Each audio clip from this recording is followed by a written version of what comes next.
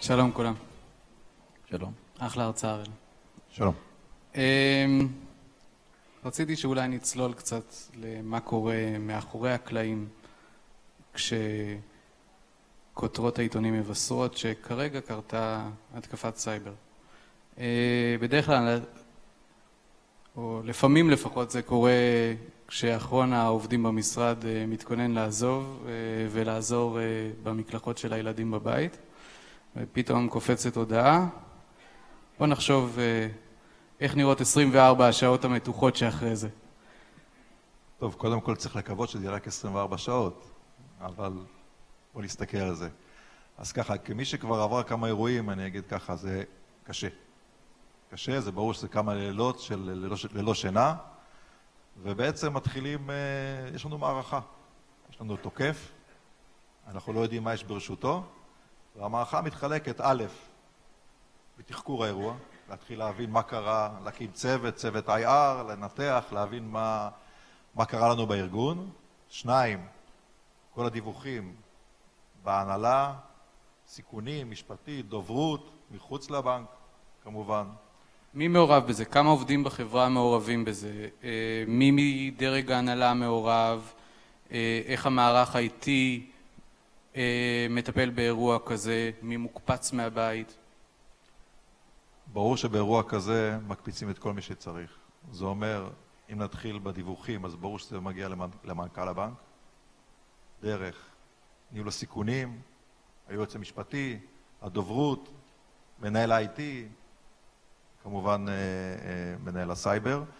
אה, מעורבים בזה, חוץ מאנשי הסייבר, כמובן, בהתאם לאירוע, כל אנשי ה-IT. אם האירוע קרה ב data warehouse, צריך להזמין את אנשי data warehouse. זאת אומרת, האירוע הזה בקלות יכול להגיע למצב של מעל 100 אנשים שעוסקים באירוע. אה, כמו שאמרתי, צריך לזכור, אנחנו מנהלים מערכה. המערכה, כמו שאמרתי, היא הדיווחים שאנחנו מוציאים החוצה, הניתוח פנימה, ומול התוקף. יש לנו תוקף, שלח לנו מכתב סחיטה, מה אנחנו אומרים לו? עכשיו, מה שמעניין, זה מאוד מתחבר לביג דאטה. היכולת שלך, או היכולת שלנו, להבין מה קרה באירוע היא פשוט הנתונים. להבין מה קרה לנו בבנק זה ללכת לביג דאטה ולראות מי קרה, מי ראה, מי נגע, מי הוציא, ותזכרו שאירועים, כמו שכבר ראינו, לפעמים הולכים שנה וחצי אחורה. למשל, באירוע לאומי קרה. העובד שלקחנו נתונים, לקח אותם שנה וחצי לאחר. לפני שהוא עזב את הבנק, כן? כשהוא עזב את הבנק, אחרי שנה וחצי שלח את מכתב הסחיטה. זאת אומרת, יש לנו פה אה, אה, מערכה שהיכולת אה, של הארגון להבין מה קרה לו היא מאוד קריטית. מנקודת הקצה של ניהול התקשורת מול התוקף או מול הסוחט? תלוי באמת בא, באירוע. אם זה אירוע של דלף מידע, אם זה אירוע של uh, כסף, אבל בסופו של דבר אנחנו מתארגנים גם לניהול נבון של uh, שיחה עם התוקף. אוקיי? גם, כמו שאנחנו יודעים, גם לזה יש אה, מומחים. אנחנו מגייסים מומחים מבחוץ אם צריך. תלוי בהיקף האירוע כמובן.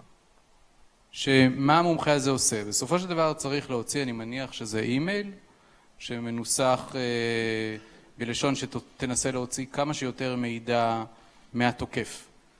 מתכננים את השיחה הזאת מראש? כמה אנשים מעורבים בניהול הדיאלוג הזה? בהחלט. אה, מעורבים לא מעט אנשים. מספקים אה, לעצמנו, אם אנחנו פותחים בשיחה עם התוקף, אה, מכינים את מה שאנחנו מעריכים שנוכל לסחוט מהתוקף כמה שיותר מידע, ואני יכול להעיד שהיו לנו לא אירוע אחד ולא אירוע שני, שבמהלך השיחה עם התוקף הצלחנו להבין מה יש בידי התוקף, וכמו שאמרתי קודם, ההבנה מה יש בידי התוקף זה התשובה כמעט לאירוע. אני יכול או להיות במצב שאני סוגר את האירוע כי אין כלום, סתם מכתב סחיטה, ועד כדי הערכה שאנחנו באירוע, אה, כדוגמת אירוע לאומי כרת, שהוא אירוע קולוסלי, נגיד אירוע משבר גדול, אוקיי? אז הדו-שיח עם התוקף הוא מאוד משמעותי וקריטי. עכשיו דיברנו לפני, קצת לפני שעלינו על הבמה, על תגובות אה, פרופורציונליות ותגובות עודפות או חסרות. אתה יכול לתת דוגמאות לדברים כאלה? אה, כן, בהחלט. אה, יכול להיות הרי שני מצבים.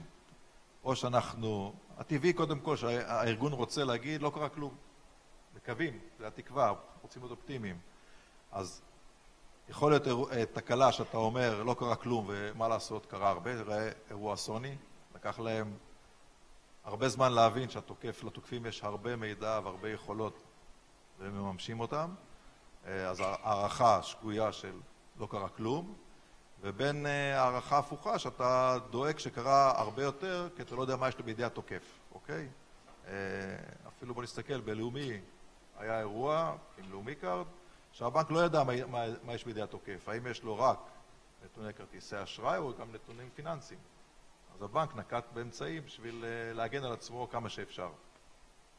אוקיי, okay, אבירם, עכשיו, אתם בדרך כלל רואים את הלקוחות שנפגעו צעד אחד אחרי. זאת אומרת, גם אם אה, הזעיקו אתכם או הודיעו לכם ברגע היוודע הפריצה, אתם לא אמונים על הטיפול הטכני. אני אשמח לשמוע על השיקולים שבהם איתם מתמודד הדירקטוריון של חברה שכרגע נפגעה. מתי ואם יוצאים עם הודעה לציבור? למי צריך לפנות? איך אנחנו ממזערים נזקים? אני חושב שכמה דברים. אחד, אירוע סייבר זה אירוע שמה שאני יכול לדמות אותו דווקא באולם פה זה שלרגע יש לנו איזשהו קצר פה בארון חשמל ופתאום כל האורות פה קווים ואף אחד מאיתנו לא יודע מה לעשות. אף אחד לא יודע מי מוביל את האירוע, איך יוצאים החוצה, איפה היציאה, איך עושים את זה. ולאט לאט מה שמשה תיאר באירועים שהוא חווה, לאט לאט מישהו מדליק אור קטן פה ואור קטן שם ולאט לאט מתחילים לצאת.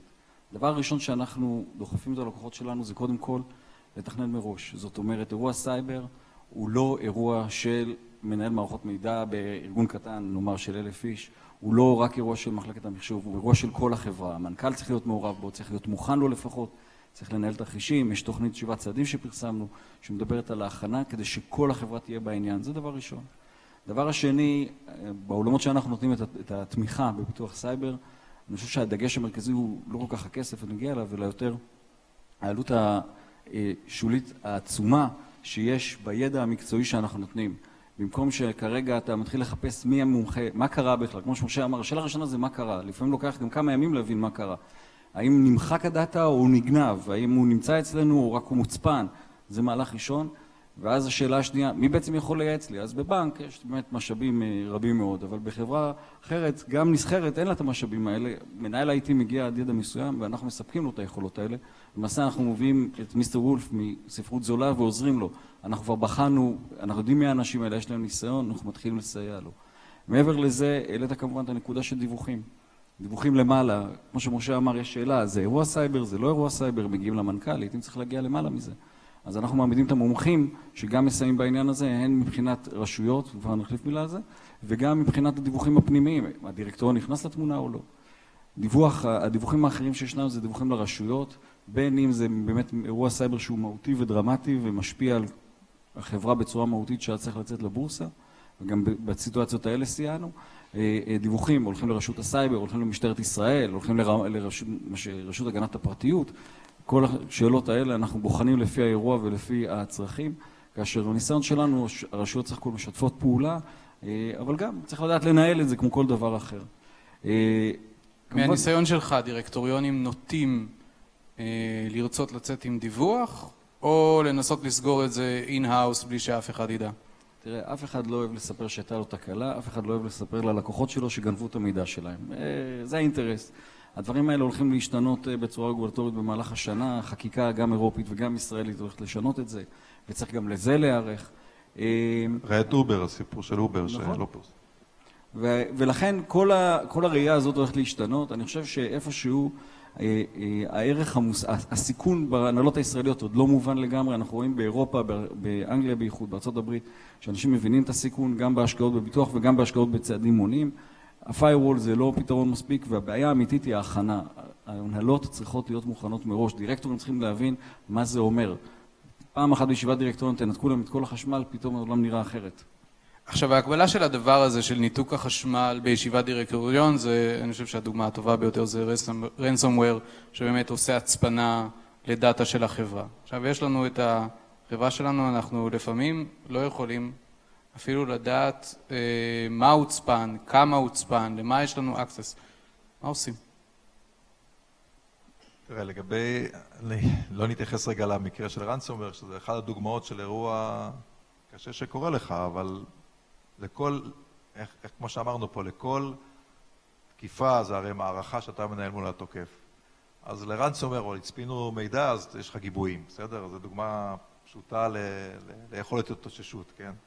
אבל ברור שלכל אירוע אתה, אתה מופתע כל פעם מחדש, ואתה צריך להיות אה, מוכן עם יכולות להגיב לאותו אירוע, אוקיי? אז אה, אה, ברנסומר זה גיבויים, באירוע אחר של טרוג'ן בתחנות אתה, אתה צריך להיות מוכן עם יכולת למנוע את ההתפשטות, לעצור את שרת הדואר, כלומר זה יכולות שאתה חייב שיהיו לך.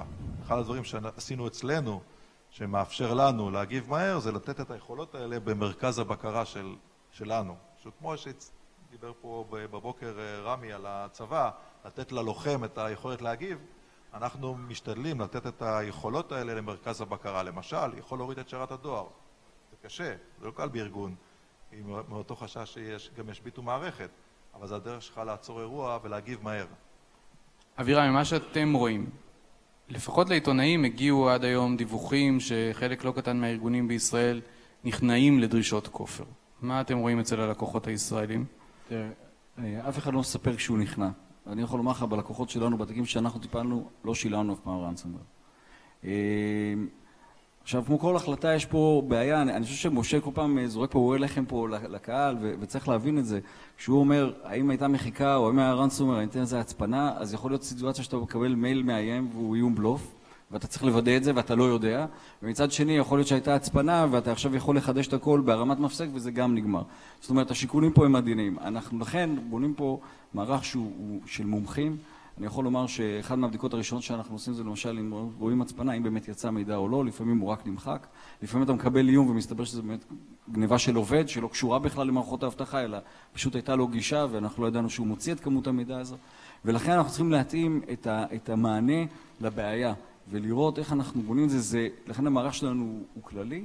חשוב להבין שבסטטיסטיקות שלנו בערך שמונה שעות לוקח עד שהארגון מבין בעצמו מה קרה לו, ויש שלושה ימים קריטיים שבהם צריך להבין יותר לעומק ואז לצאת עם תוכנית פעולה אמיתית. אגב, השאלה אם עונים או לא היא שאלה מאוד מאוד אה, אה, אקוטית, כי יש כאלה שאומרים אל תגיד כלום כשאף אחד לא יודע מה קורה אצלך. ו- וזה נעשה מתוך בדיקה של באמת מה יצא ומה לא יצא, והערכה כללית של איפה אנחנו עומדים. תודה רבה, אני חושב שזה היה סופר מעניין. תודה. תודה.